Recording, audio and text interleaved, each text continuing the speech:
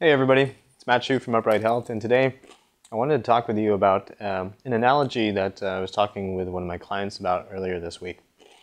So, we were talking about this need to exercise um, to make the body feel good. Um, and this client actually expressed a frustration that I myself have had at one point. Um, and that frustration is basically, you know, why do I have to keep exercising? Why can't my body just feel good? It just seems ridiculous that, you know, I have to do these exercises, I have to stretch, I have to keep doing these things to keep my body feeling good. And I said, you know what, that's fair. I get frustrated with that too. But the same way you need to eat in order for your stomach to feel good and for the rest of your body to feel good, um, is the same way your body needs exercise to feel good. So we get hungry every single day, even though we eat, if we're lucky, every single day. Um, I eat at least three meals a day, and I have to keep doing it over and over and over again, even though I've been doing it for decades at this point. Um, when we think about food, we don't get frustrated with this notion that we have to keep eating so it doesn't make sense for us to think about exercise in any different way. Exercise is a way of feeding your body um, with movement, right? Your muscles need movement in order to feel healthy. If, for example, you didn't eat or you were eating just crap for three months, assuming you survived, your stomach would probably not feel very good your body just would not feel good.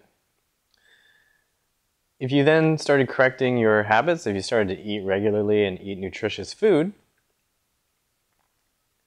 you couldn't just do that for three weeks or another three months and then say, okay, my stomach feels fine. It's been three months of eating well. My stomach feels good.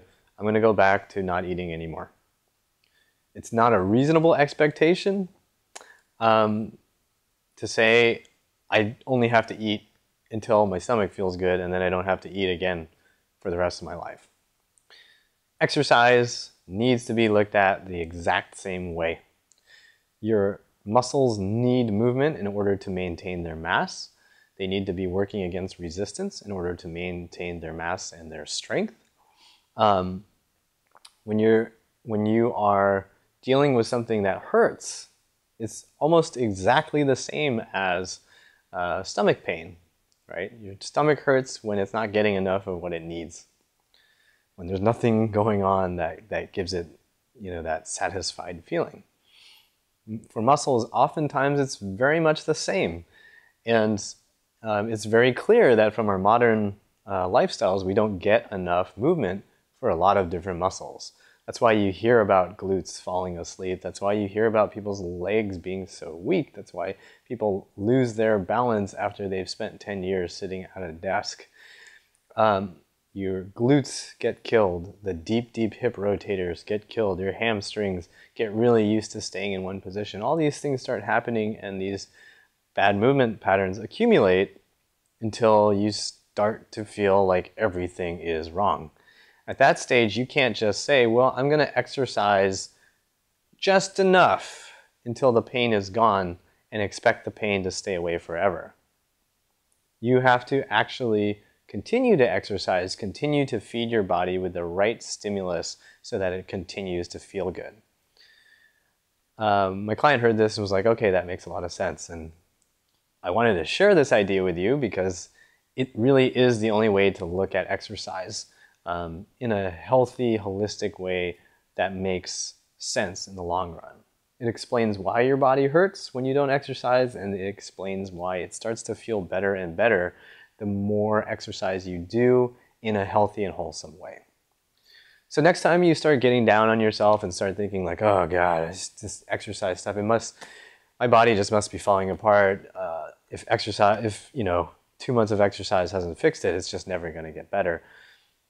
Step back, remember that your body needs to be fed well, not just on a short term basis, but also for the long term.